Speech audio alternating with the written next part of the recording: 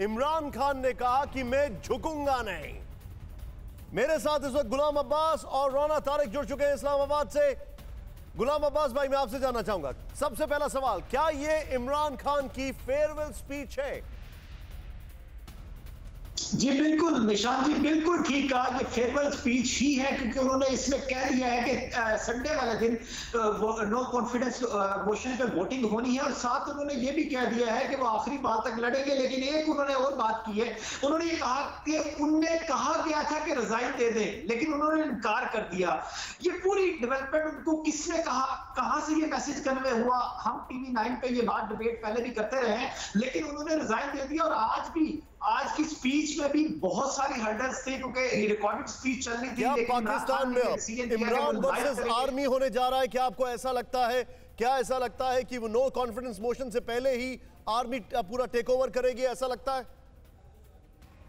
नहीं नहीं निशान जी, ऐसा मुझे बिल्कुल भी नहीं लगता। मुझे ये लगता है कि इमरान खान बिल्कुल संडे के बाद फॉर्मर प्राइम मिनिस्टर हो जाएँगे और वो जो नैरेटिव बिल्ड करना चाह रहे थे कि आलमी साजिश है, फॉरन एक साजिश की गई है, वो उन्होंने बिल्ड कर दिया है और वो उसको लेकर के सड़कों पर आएँगे और वो आप जो नई सरकार, जो भी बनेगी अपोजिशन की, उसको कड़ा टाइम देंगे और वो आगे जाके क्या, कितने खतरनाक होते हैं, क्योंकि वो खुद कह चुके हैं कि अगर मैं, मुझे प्राइम मिनिस्टरशिप से निकाला गया तो मैं बहुत खतरनाक हो जाऊँगा।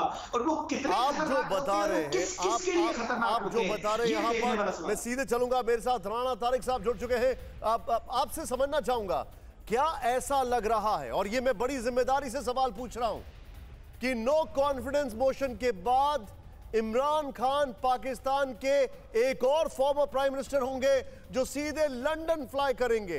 क्योंकि जो इन्होंने यहाँ पर आग उगली है उससे लगता नहीं है कि पाकिस्तान आर्मी इनको छोड़ेगी अब।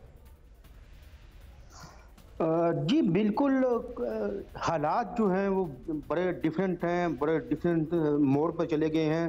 क्योंकि बार बार इमरान खान की जानब से यही कहा गया कि मैं आखिरी बाल तक लड़ूँगा, आखिरी बाल तक। आज भी उन्होंने कौम से खिताब में यही बात दोहराई है कि मैं आखिरी बाल तक लड़ूँगा। लेकिन सबसे पहला सवाल ये है कि उन्हें बार बार वो यही कह रहे हैं कि मुझे इस्तीफ़ा देने का भी कहा गया। लेकिन वो बताएँ आवाम को कौम को बताएँ कि उन्हें इस्तीफा देने के लिए किसने कहा। लेकिन सवाल ये है कि बहुत बहुत शुक्रिया हमसे बातचीत करने के लिए आपका। ये वही इमरान खान है जो आज से करीब एक हफ़्ता पहले कह रहे थे कि मैं एक बॉल में दो विकेट लूँगा। लेकिन आज कह रहे हैं कि मैं रनआउट नहीं हूँ। थर्ड एम्पायर कौन है? पाकिस्तान में ये सब जानते हैं। परवाह देश की। सोमवार से शुक्रवार रात 10 बजे टीवी 9 भारतवर्ष पर।